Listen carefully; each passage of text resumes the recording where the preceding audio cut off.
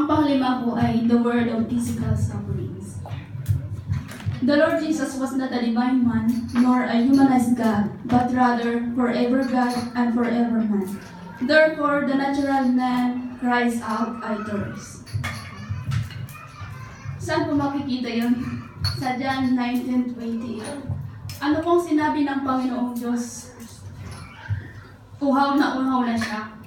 Ano po ang binigay sa kanya? Suka po. Vinegar. According po sa medical science, kapag ang isang tao ay nasa sukdulan ng paghihirap, sukdulan ng pagdurusa, bago siya malabutan ng hininga, ang unang-una niyang mararamdaman at ang pinakahuli niyang mararamdaman ay sukdulang pagkauhaw. Si Jesus po binugbog. Bugbog sarado ang kanyang katawan. Bugbog sarado ang kanyang espiritu. At maging ang kanyang kaluluwa. Mentally, emotionally, ang katawan po niya ay bugbog sarado. Mga halos buto lang po niya siguro ang hindi halos uh, nadurog. Sabi ng Bible sa Isaiah 53, the atonement chapter, ang sinabi niya, ako'y nauuhaw. I am thirsty. Imbis na bigyan siya ng kahit konting kapirasong tubig, ngunit ang ibinigay sa kanya ay suka. Yung esponghe nilagay sa nilagay sa suka at ininagay sa kanyang bibig sa bibig ni Jesus. At dahil din po sa sukang yun, doon nalasap ng Panginoon yung hapdi at kirot na dulot ng sukang yun. Kaya halimbawa na lamang po kung tayo ay gagawa ng kasalanan, gaya ng paghitit mo ng bawat bawat paghitit mo ng sigarilyo mo, ang katumbas nun ay suka sa Panginoon. Lahat ng hindi magaganda na gawain ng isang tao ay siyang sumisira sa Panginoon.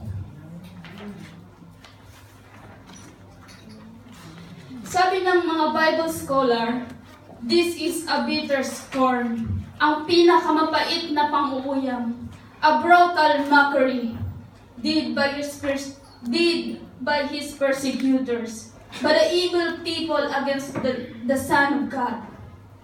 Makikita natin mga kapatid na habang tayo nagdaraos ng Simana Santa sa buong mundo, alalahanin natin ang katotohanan.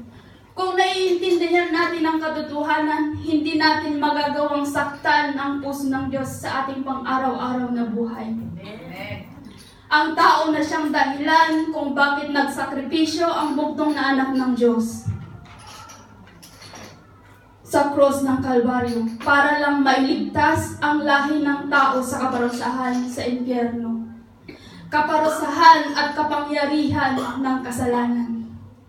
Pag ang tao ay bumalik sa kasalanan at muling nagkakasala, patuloy niya itong pinapainom ng suka at patuloy nating ipinapako ang bugtong na anak ng Diyos sa krus. Makikita din po natin kapag inaalala natin ang katotohanan ito, ang historical events na ito. Makikita natin na makikita po natin dito na hindi kayang sukatin ang kadakilaan ng Panginoong Hesus at ng Diyos Ama. Kaya wala pong dahilan para magkaroon po tayo ng pagkakataong bumalik kay Satan na magpatukso tayong muli sa kasalanan. Durugin man ang ating katawan, ang ating mga buto, maging ang ating kaluluwa, hindi sapat para bayaran ang supreme sacrifice ni Jesus sa krus ng Kalbaryo.